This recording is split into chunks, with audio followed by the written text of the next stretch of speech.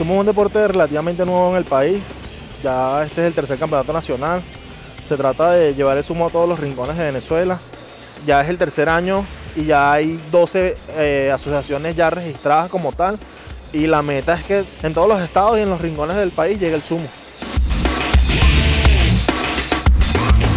La preparación física comenzó hace 10 meses que entré en el área de deporte de combate. Una captación que realizó mi entrenador en los días de enero y dijo, no, este, este es el muchacho, 18 años, tamaño y peso necesario, vamos a entrenarlo. Y a lo arraigo de todos estos meses, una preparación física y mental exigente.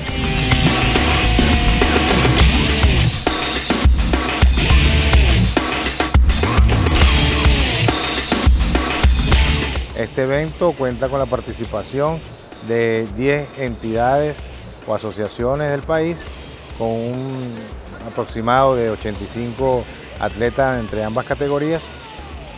y el cual se estará desarrollando el día de hoy para sacar la selección que participará el año que viene en el suramericano de adulto y juvenil en la ciudad de Buenos Aires, Argentina.